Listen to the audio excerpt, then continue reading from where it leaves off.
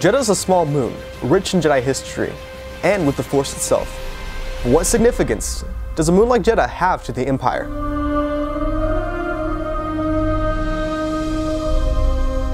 Hello Star Wars fans, my name is Joel Robinson, and this is day 6 of the 16-day video countdown to Rogue One. Frozen in permanent winter, and located in the Inner Rim, Jedha is a sacred desert moon, where many Church of the Force members and other Force-believing people have taken their pilgrimages in order to gain spiritual guidance. Jedha's main settlement, the Holy City, contained the ancient Temple of Whills, which was argued among many pilgrims and historians to be the first Jedi temple, unaware that the temple on Ahch-To was in fact the first.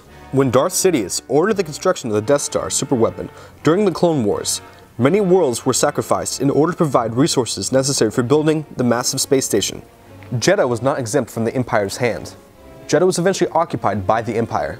Kyber crystals, the main component in the construction of Jedi lightsabers, were found on the planet, and the Empire intended to rip them from Jedha's sacred soil and use them for the power to the Death Star and other Imperial superweapons.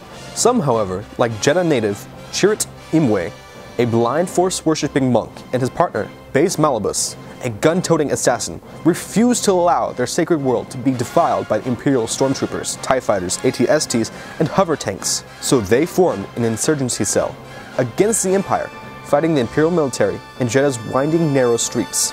The insurgency cell eventually caught the attention of Saw Gerrera, who moved his rebels, the partisans, to Jedha to help the rebellion. Gerrera and his seasoned soldiers established a hidden base not far from the Holy City, underground within an ancient burial site.